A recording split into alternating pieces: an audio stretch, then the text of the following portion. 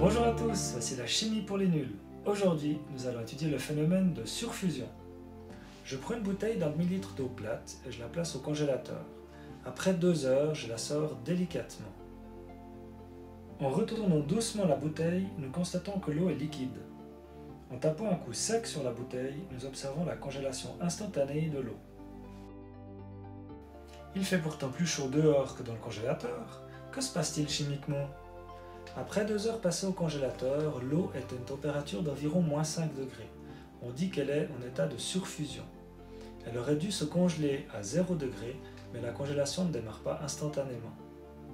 Il faut effectivement un certain temps pour que le congélateur ait absorbé suffisamment d'énergie à l'eau pour la congeler entièrement. Quand l'eau est à l'état de surfusion, la température est assez basse pour que la congélation puisse avoir lieu. Une simple perturbation permet de l'amorcer.